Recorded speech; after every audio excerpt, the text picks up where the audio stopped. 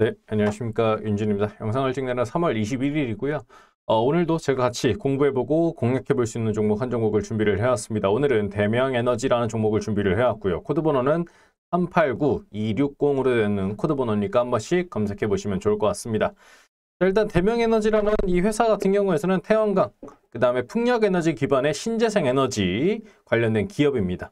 어, 그래서 사업개발, 설계, 조달, 시공, 운영 관리까지 전부 다 직접 진행을 하고 있는 회사고요.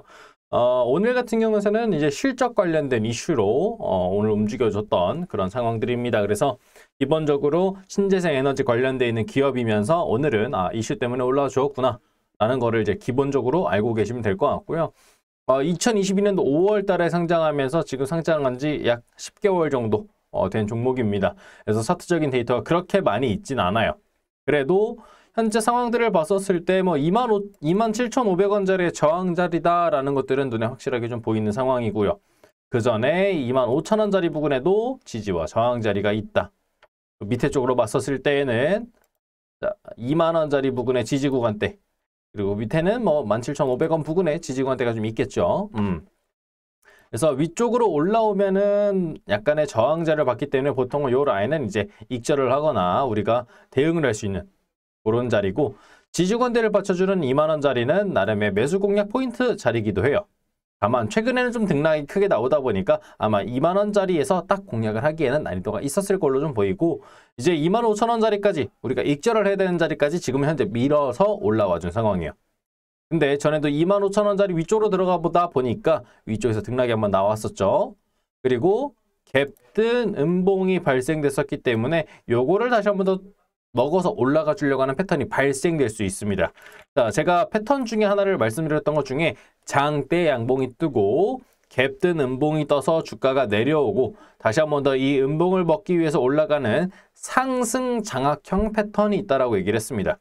근데 현재 그 패턴을 보기 위해서는 여기 나와 있는 이 양봉이 없어야 돼요. 근데 양봉이 발생됐었기 때문에 아, 다소 조금 아쉽다.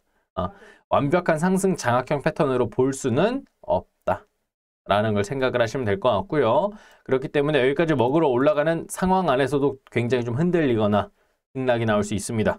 아, 요거, 요거를 좀 미리 참고하시면 될 것 같고 어쨌든 올라와주는 부분들에 있어서 우리가 손절 라인으로 잡아야 되는 자리는 보통 이 꺾어서 올라왔던 양봉의 지지구간 때는 양봉의 저점 자리나 아니면 턴했던 자리들을 기준으로 잡는데 어, 2만 원짜리까지 우리가 손절 라인 잡기 위해서는 손절 이 밴드가 너무 넓어요. 그래서 오늘 이제 분봉상 흐름들을 본다면 2만 4천 원짜리 위에서 버텼던 흐름들이 있죠. 그래서 2만 4천 원 부근을 손절 라인으로 잡거나 아니 조금 더 넓히고 싶다라고 한다면 2만 3,500원 정도 오늘 초반에 버텼던 자리 어, 그래서 이 두 개의 라인을 참고를 하시면 좋을 것 같습니다. 그래서 추가적인 등락을 노릴 수 있는 현재 자리까지 올라와 있기 때문에 어, 최고점 일단 27,500원부터 익절한다. 어, 저기 부근 되면은 아 드디어 좀 익절할 때 됐고 어, 최소한 일단은 최소 익절 라인 정도는 잡아야겠다.